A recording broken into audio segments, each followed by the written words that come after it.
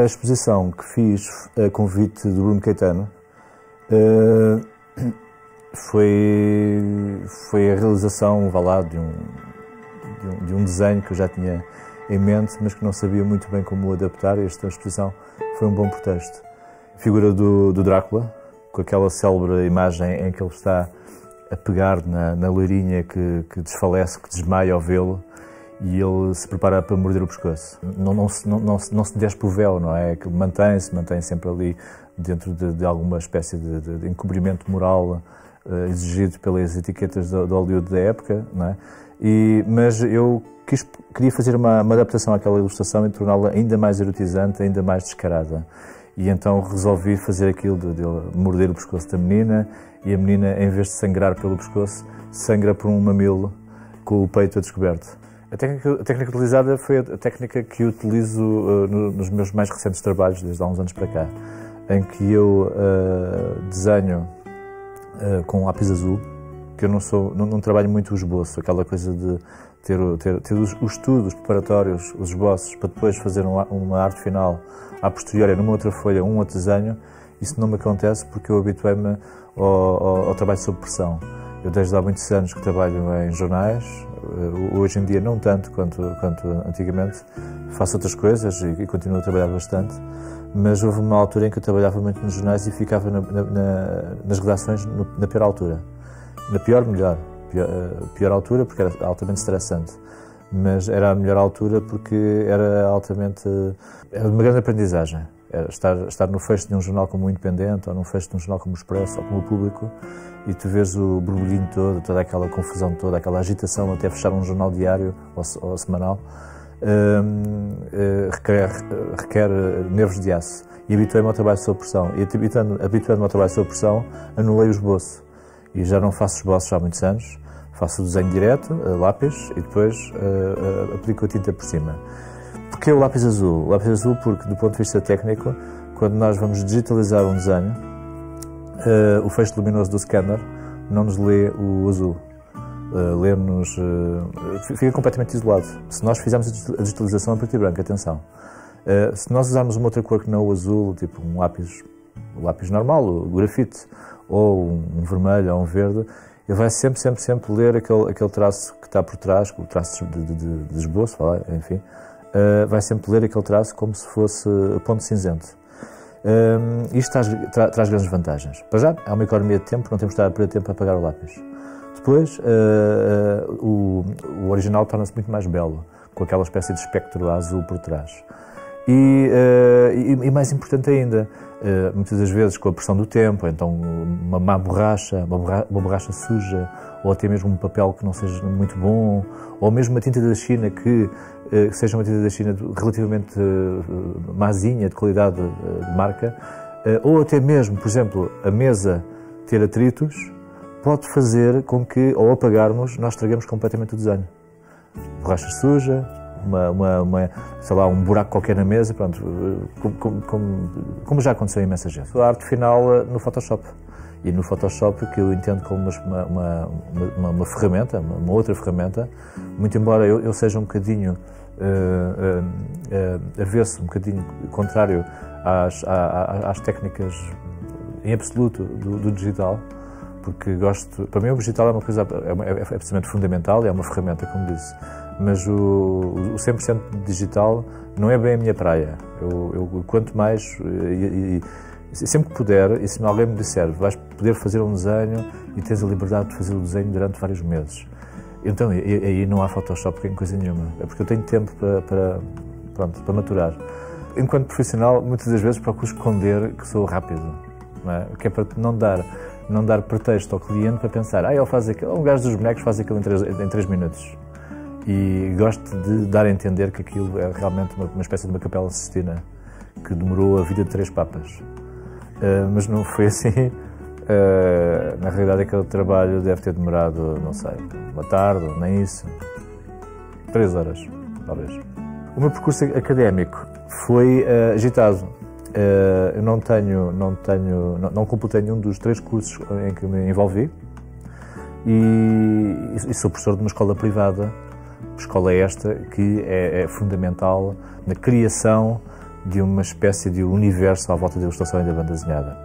A escola onde eu estou inserido e que eu ajudei a criar, não a escola, mas o departamento que ajudei a criar, eh, formou alunos dentro desta área e era uma coisa que não acontecia na minha geração quando eu tinha, por exemplo, a tua idade.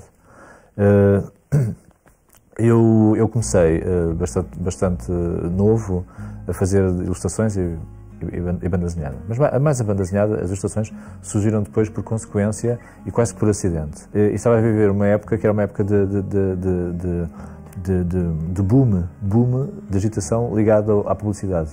E as agências de publicidade que, que e pronto, circulavam, circulava imenso dinheiro nessa altura, eram os anos 90, e esses anos 90 eram, foram anos em que as torneiras estiveram abertas. Eh, mas na época que, eu estou, a que me estou a referir, a época do boom, existia mais ilustração, mas em poucos projetos.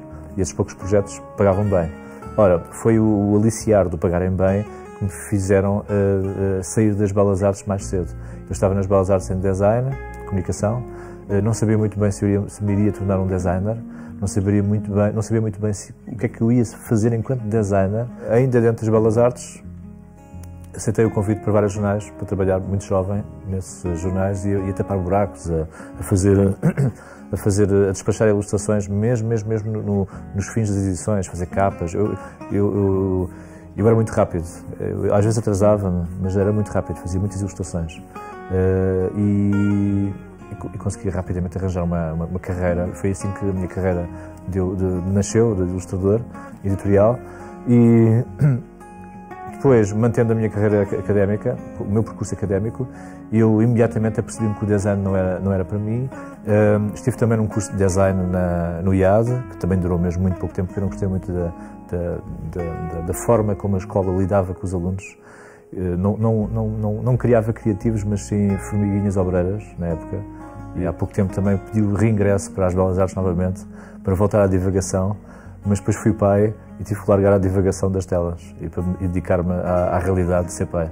O meu percurso pronto, foi, foi por aí, foi um percurso, um percurso como quase todos, todos, os, todos os autores, do, de, todos os desenhadores, não é? começam muito jovens, sem saber muito bem o que fazer.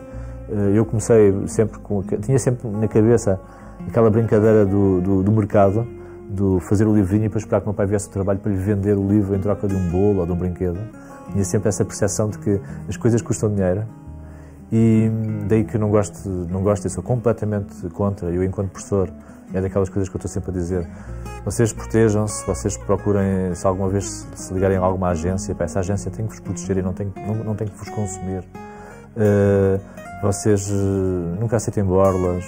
Pá, estagiário é uma palavra que tem que se apagar de vez do dicionário, que foi daquelas coisas mais. É como, sei lá, uh, as drogas e o cavalo nos anos 70 não é? É como, é, é como os estagiários nas agências eh, hoje em, hoje em dia, no, no, no, século XXI. Não faz sentido nenhum. As pessoas têm que lutar por, por, por, por um vencimento, mesmo que esse vencimento seja parco. Mas um estagiário tem todo o direito de receber alguma coisa. E dinheiro, não é pancadinhas nas costas. As minhas principais fontes de inspiração são a história, com, a, a tal história com o H grande, não é? a história das coisas, a história das pedras, os acontecimentos, que, os acontecimentos que fizeram construir o, não só o nosso país, mas o, nós, enquanto gente, as mulheres também. As mulheres são para mim uma fonte de inspiração. As mulheres no, no, em todos os sentidos, não é? Não apenas as mulheres no sentido maternal, mas também as mulheres no sentido da relação, não apenas da relação sexual, mas da relação, da relação da amizade, do, da, proximidade e do mistério também. Por, por mais que nós procuremos compreendê-las, elas vão ser sempre uh, um, algo, estranho, não é? Eu acho que estou sempre, estou sempre à procura de, de mais e mais. E, e, acordo todos os dias a pensar que o que fiz ontem não foi grande coisa. E acho que isso é importante, temos de estar sempre conscientes disso. Uh, pensar que no, dia, no, nosso, no nosso dia seguinte vamos fazer algo muito melhor do que fizemos o, no dia atrás. E, portanto, isso é, é daquelas questões que eu, eu, sinceramente não consigo responder, porque há, há imensa coisa para, para, para, fazer com a ilustração. O, pinturas de murais, por exemplo, há pouco, eu estou neste momento a fazer trabalhos com a Junta de Freguesia de Santa Maria Maior, em que eu estou a fazer ilustrações grandalhonas em, em murais, não é? urban art, chamemos-lhe isso, mas eu vejo, vejo como, como se fossem ilustrações grandalhonas, grandes mesmo.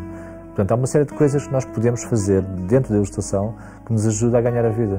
Nós devemos sempre pensar o, não apenas as artes, mas a vida, a vida em si, sempre como um ato coletivo. É sempre um ato coletivo. Nós sozinhos não somos nada, nada mesmo. As coisas só funcionam se forem resultado de sonhos do coletivo. Okay? Se tivermos o espírito de empreendedor, mas nunca podemos ter espírito de empreendedor sozinhos, temos sempre que ir, ir com alguém. E, é, pronto, acho que o mais importante de tudo é, é, é alimentar amizades.